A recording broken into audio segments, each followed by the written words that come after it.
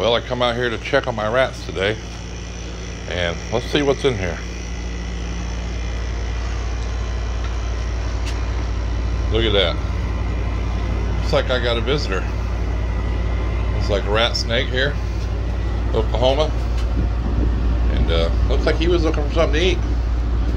So, uh, yeah. Even though my room's cool, AC, it's enclosed, I guess uh, had the garage door open earlier. I guess he, he decided he found his way in here, so uh, wasn't expecting that. Alright, guys. Later.